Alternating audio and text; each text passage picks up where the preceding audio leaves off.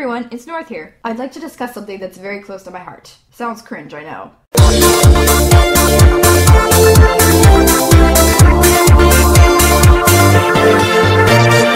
Today, we're talking about the Animal Jam community and my feelings on it. Now, first off, I think a lot of negative things are said and believed about this community, and some of them are true. However, is this community really that bad of a place? I've seen a number of people quitting the game because they say it's toxic and full of drama, etc. But is this necessarily true? And is it worth quitting the game over? Well, let me just say right off the bat that if you have quit Animal Jam because of the community, I don't in the slightest expect you to come back because of this video. And if you're satisfied with your decision, that's cool and good for you. But this video is more directed at people who are thinking about quitting, but who also don't want to. And basically, people who are conflicted about it. Or if you're just here for entertainment, that's cool too. Anyways, here's the first question. Is this community really toxic and full of drama? Well, it depends. See, it's hard for me to tell you that you'll never come across drama or toxicity toxicity in this community because that's obviously a lie. Since drama is all the rage for kids and young teens, the target age range of the game, AJ and its community are natural magnets for drama. And as this community grows, it'll attract some more good people and some more crappy people. That's just the way it is, and no one can change it. So, yeah, you could say that this community has drama and is toxic.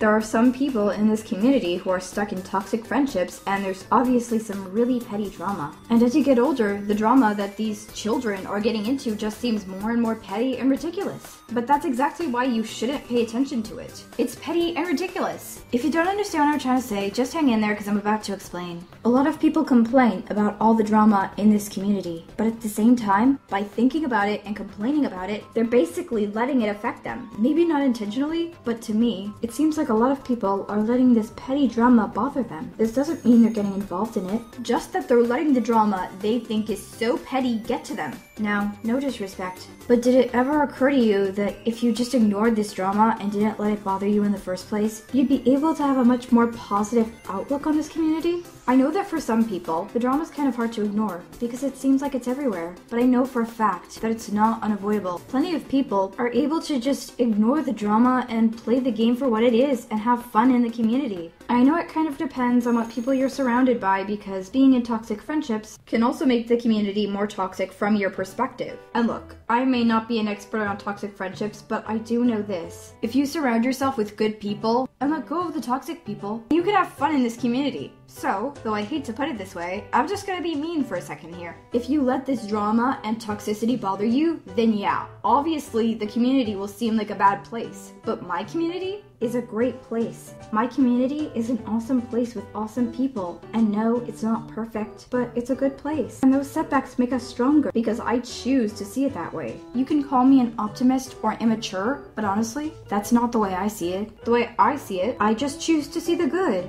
I mean, if you want to quit or have quit for another reason, that's cool. Like if you've just lost interest in the game, that's cool. But again, this video is more directed at people who are thinking about quitting because of the community, or who are just feeling down about the community. Anyways, I'm gonna go now. Sorry this video wasn't very long, hopefully you enjoyed it nonetheless, and if you didn't, well then, there's the door. Don't forget to like, comment, and subscribe, and stay close up, also fantastic. See you next Friday.